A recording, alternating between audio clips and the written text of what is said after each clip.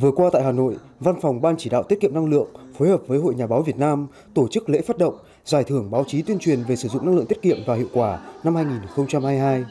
Giải thưởng báo chí tuyên truyền về sử dụng năng lượng tiết kiệm và hiệu quả là một trong những hoạt động truyền thông thuộc khuôn khổ chương trình VNEEP. Giải thưởng nhằm mục đích nâng cao nhận thức trách nhiệm của cộng đồng trong việc sử dụng năng lượng tiết kiệm, hiệu quả, đồng thời tôn vinh những tác giả, tác phẩm xuất sắc tiêu biểu về sử dụng năng lượng tiết kiệm và hiệu quả ở trung ương và địa phương, nâng cao số lượng, chất lượng các tác phẩm tuyên truyền về sử dụng năng lượng tiết kiệm và hiệu quả trên các phương tiện thông tin đại chúng.